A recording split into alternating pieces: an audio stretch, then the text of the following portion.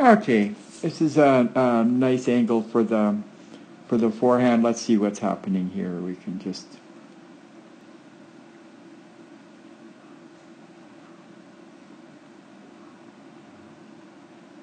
unit turn. Pretty good power position. Left arm pulled. Decent shoulder turn. Hips are turned.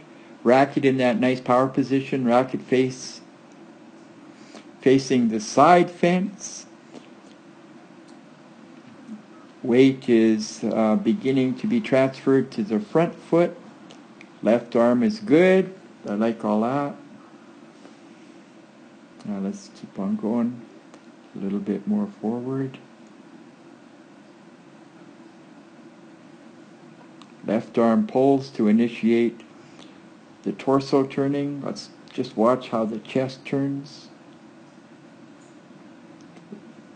Oh, okay, see, so racket's nice and leggy.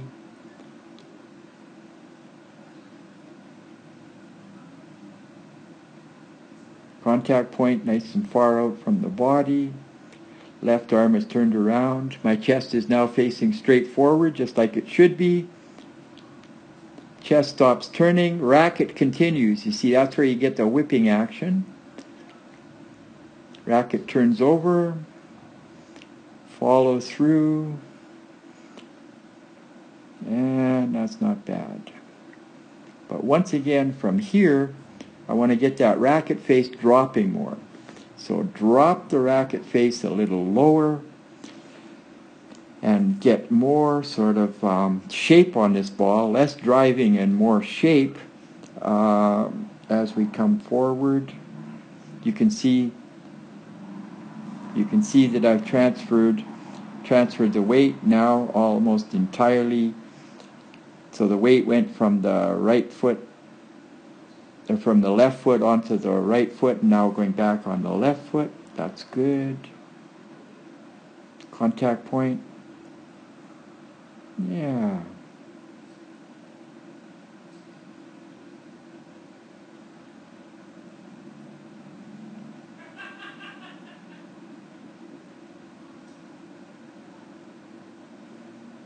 Okay. More loop, more shape. Other than that, not bad. And um, nice finish position. Elbow pointing at the target.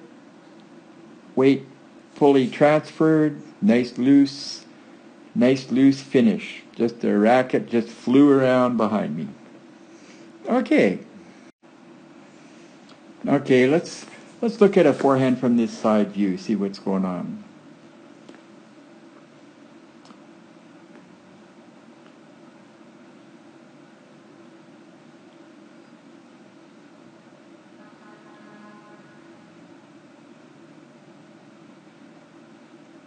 Okay, good shoulder turn. Move to the ball. Getting ready.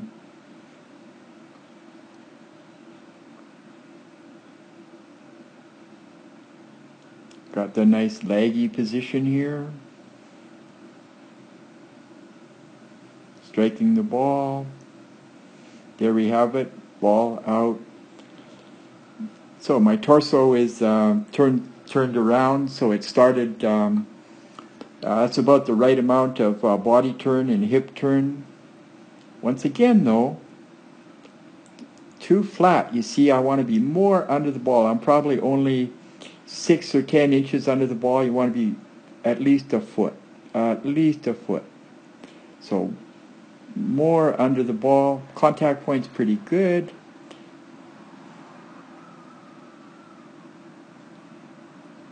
right through.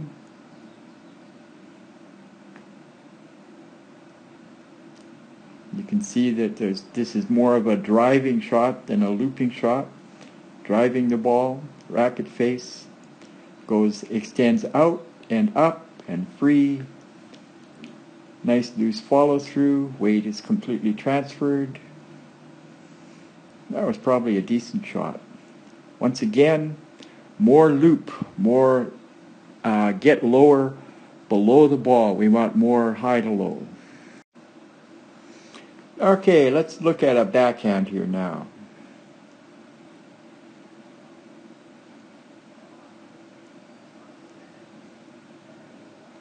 Shoulder turn.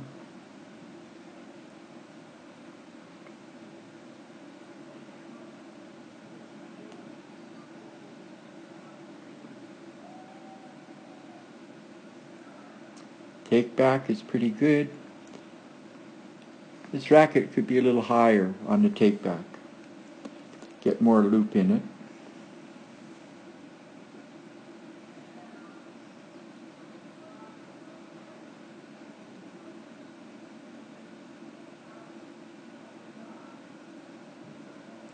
Yep, come from more from under. There's your contact point. What's that? A foot, 14 inches in front of my uh, in front of my right foot. Not bad. Follow through. Nice and free. Racket turned over. And completely through. Okay, so the same thing as the forehand. I want more loop, so a higher start on the loop, and from this point, see right here, I want to drop that racket head a little lower. But the way the left hand is helping here, this is all good. I'm turned, I could, could maybe turn my back a little bit more towards the baseline, but the shoulder turn's pretty good here. Arm is coming forward nice and straight. That's good. Contact point is good. Clearly hitting the ball nicely. Kept my head down. See, I'm not looking up. Don't look until a shot is finished. That's all good. And then finish. Finish with your torso, racket head up nice and high. Weight completely transferred. And... Uh, Decent backhand could be whippier, looser hand, looser wrist, and definitely more, uh, definitely lower on the backswing. Get more under that ball. You're still driving it too flat. This is not the 80s. This is a time for topspin shape and a loopy ball.